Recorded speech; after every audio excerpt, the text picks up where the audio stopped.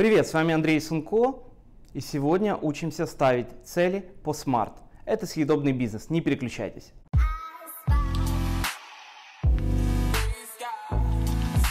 Что же такое SMART? SMART – это система целей, которая превращает вашу мечту в измеримую, конкретную, реальную, ограниченную по времени цель.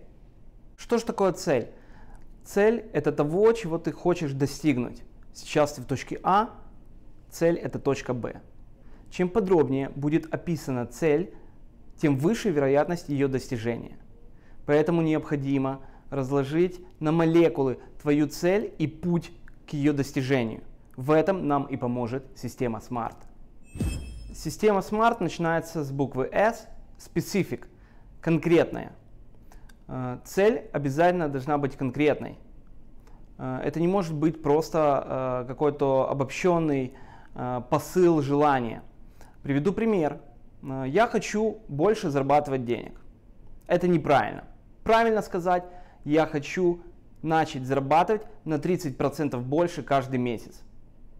Важно понимать, что в конце цели должен быть четкий результат, и он должен быть один – если же вы э, во время прописания вашей цели понимаете, что э, цель довольно глобальная, нужно ее раздробить для того, чтобы все равно был только один результат у одной цели.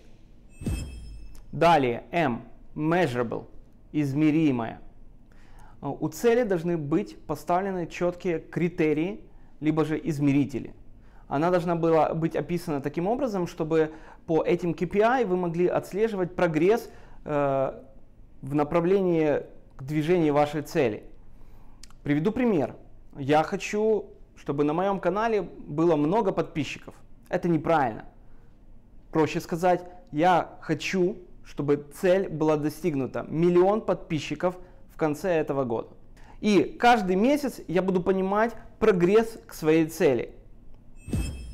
Далее A, achievable, э, достижимое важно понимать, что цели должны быть достижимыми. Не ставьте заоблачные цели.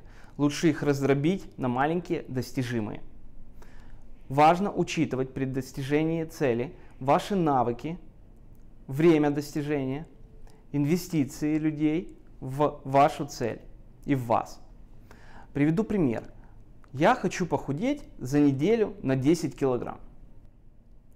Нереалистично. Если я поставлю себе цель, я хочу похудеть за 2 месяца, вероятно, что это будет правдой.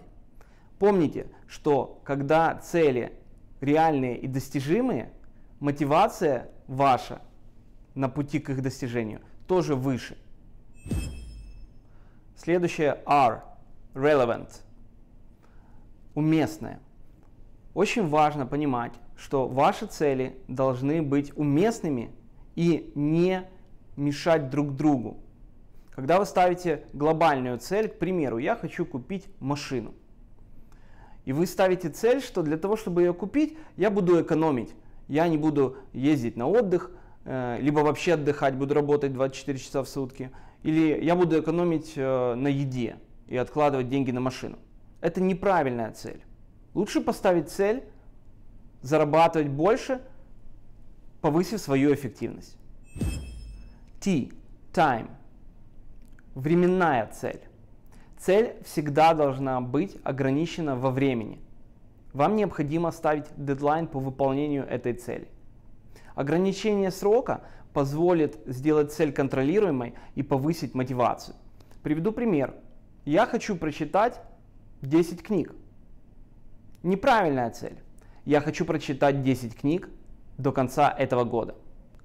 Это правильная цель, есть четкий дедлайн, есть четкая мотивация достичь эту цель.